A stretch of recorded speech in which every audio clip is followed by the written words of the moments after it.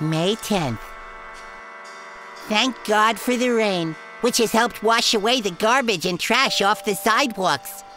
I'm working long hours now, 6 in the afternoon to 6 in the morning. Sometimes even 8 in the morning, 6 days a week. Sometimes 7 days a week. It's a long hustle, but it keeps me real busy. I can take in 3, 350 a week.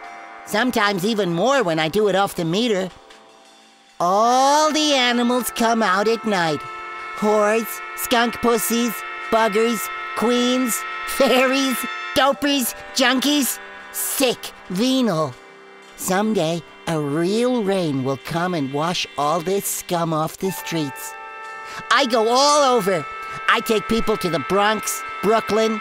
I take them to Harlem. I don't care. Don't make no difference to me. It does to some. Some won't even take spooks.